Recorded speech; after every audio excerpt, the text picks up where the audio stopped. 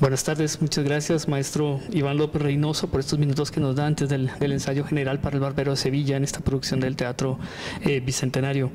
Eh, pues es un músico pues muy joven, o sea, bueno, Rossini también empezó muy joven, ¿no? A los 23 años se dice que compuso el Barbero y lo compuso en tres semanas.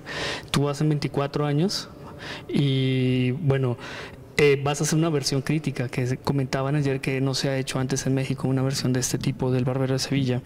Eh, ¿Cómo se sientes con la juventud, compañera de Rossini, eh, con esta, con su música y con este, particularmente con este Barbero de Sevilla? hacer una ópera de este tipo es un gran reto por muchas razones. Es un título muy conocido a nivel internacional en las grandes casas de ópera del mundo. Es un título fundamental del repertorio. Es decir, nos estamos enfrentando a una partitura que ha trascendido desde el origen de los tiempos eh, de su creación hasta hoy en día, que es sin duda la ópera bufa más representada en la actualidad.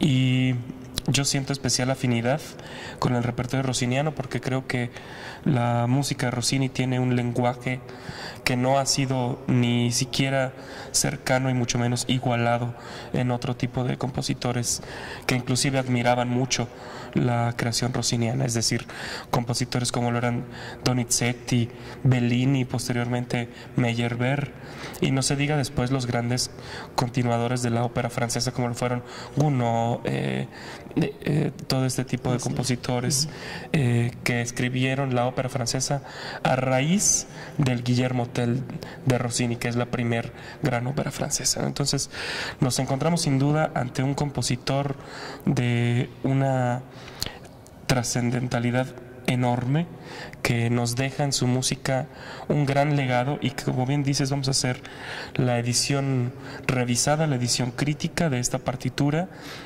interpretada eh, en la actualidad un poco con mayor frecuencia pero que fue eh, hasta digamos, pasados los mediados del siglo anterior, que se empezó a realizar este redescubrimiento del estilo apropiado en el que se tenía que interpretar esta música.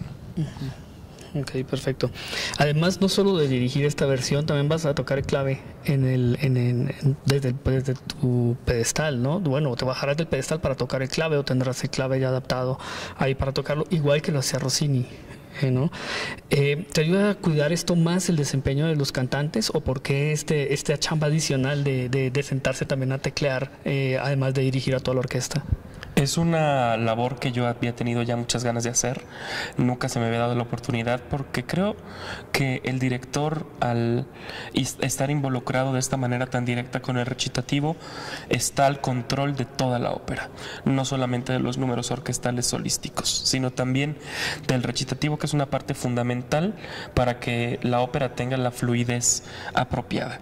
El recitativo por más que tengamos un, pianista colaborador o un clavecinista colaborador que entienda muy bien el recitativo, creo yo que el director de orquesta tiene también la responsabilidad bajo su cargo de hacer que el recitativo sea igualmente de coherente como lo quiere que sea la música. Entonces yo tengo la, fortuna de poder hacer esta doble labor en esta, en esta producción.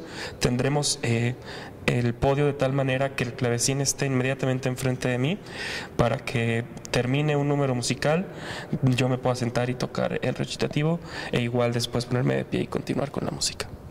Vaya, bueno, no es solo la tarea de dirigir, tocar para acompañar los recitativos acompañados, como, como debe ser con el clave, eh, sino también, pues investigué también que había sido tenor y ahora eres contratenor. O sea, me imagino que aparte de eso también, eh, aparte de la dirección musical, pues la, eh, la, relación con los artistas al ser cantante también es mucho más estrecha, me imagino, con los cantantes, ¿no? Y con los coros. Cuéntanos un poquillo de esto, de esta, esta dinámica de ser cantante y también director de, de, coro y de, y de, pues, de todo el elenco.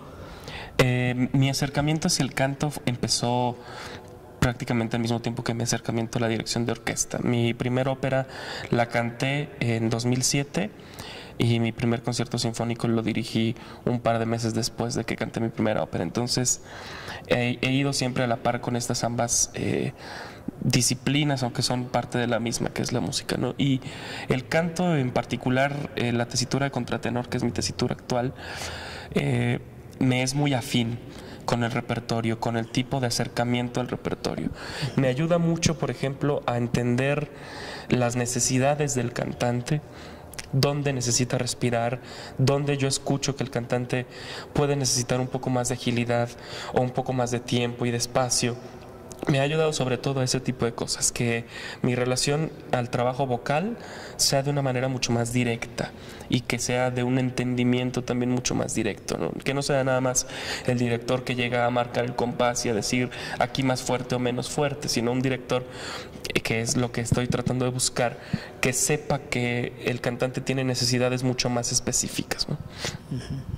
El Barbero de Sevilla, aparte como tema, tiene también este enfrentamiento de los jóvenes de la nueva guardia contra la vieja guardia, ¿no? Este Rosina, Fígaro y el conde que se enfrentan a, los rucos, ¿no? A Basilio, a Bartolo, a Berta, todos con B, ¿no? Que aparte además eh, de, lo anquilosados, todavía cantan incluso a Cafarielo, ¿no? En una, en una parte de la lección de, de la lección de música. Eh, eh, ¿Le trae también este mensaje, esta ópera un mensaje a los jóvenes mexicanos? Sin duda yo creo que es una ópera que trasciende el tiempo eh, y trasciende los, los siglos con los que se ha movido por la principal razón de que el mensaje es, es atemporal. ¿no? El mensaje de que el amor eh, y de que la juventud trasciende el capricho de la vejez, en este caso representado por el doctor Bartolo, necio en querer casarse con, con una muchacha que no le va a poder corresponder de la manera que él quiere, también sobre todo para quedarse con el dinero de la dote, pero vamos, principalmente porque Bartolo es un hombre que se encuentra ya en una edad en la que dice que, bueno, necesito una mujer para el resto de mi vida y qué mejor que la mujer con la que vivo, que además es una joven guapa, inteligente eh, y que le resulta un reto muy grande a Bartolo, porque ella no cede fácilmente ante, ante vamos, los intentos que él ha tenido de conquistarla. ¿no? Entonces yo creo que eh, lo que vemos en, en, una ópera de este tipo y también sobre todo en esta producción de Luis Martín Solís del Teatro del Bicentenario es una especial afinidad al mensaje de que las nuevas generaciones tienen mucho que aportarle a a, las otras, a las generaciones que van, que van quedándose atrás. Bueno, y creo que eres un buen ejemplo también, ¿no? bueno, tratamos, tratamos de.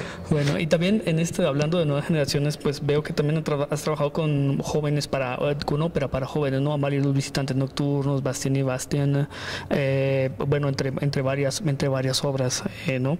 Eh, ¿Qué le recomendarías, aparte de venir, por supuesto, a ver El Barbero de Sevilla, qué le recomendarías a los jóvenes que les gustaría acercarse a la ópera?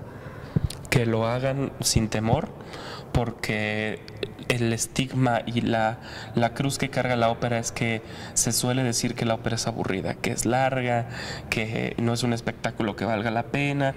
Y sin embargo yo no conozco una sola persona que haya ido a ver la ópera que se haya arrepentido de ver un espectáculo de este tipo. Es sin duda una experiencia que cambia la visión de la, de la gente en una manera muy radical, porque estamos viviendo un espectáculo que nos va a dejar un mensaje por un lado y por el otro nos va a alejar un poco del modus vivendi de nuestras tradiciones de todo el día. Es decir, salimos de nuestra, digamos, zona de confort o de nuestro ritmo de vida cotidiano para experimentar algo nuevo en, el teatro. Es la razón de la invitación constante a que venga la gente y se atreva a venir a un espectáculo de este tipo. Bueno, ya para, cerrar, pues, aparte de agradecerte por estos, estos minutos y este, este tiempo que compartes con nosotros, eh, me gustaría preguntarte por una anécdota o que nos cuentes algo, eh, no solo de la producción, sino también, eh, ha sido el único mexicano que ha dirigido en el Festival de Pésaro, que es el, es el festival rosiniano por excelencia, por de, conoces también al maestro Alberto Zeda, que es la autoridad que de la que hablabas hace un momento, que es de las ediciones críticas. ¿Puedes contarnos una anécdota o de Pésaro o de esta producción del Barbero de Sevilla para cerrar, por favor? Sí, bueno, déjame pensar. Eh, yo me divertí mucho en los ensayos con, con los cantantes porque estar, eh, no hay como el, como el trabajo musical previo al trabajo escénico.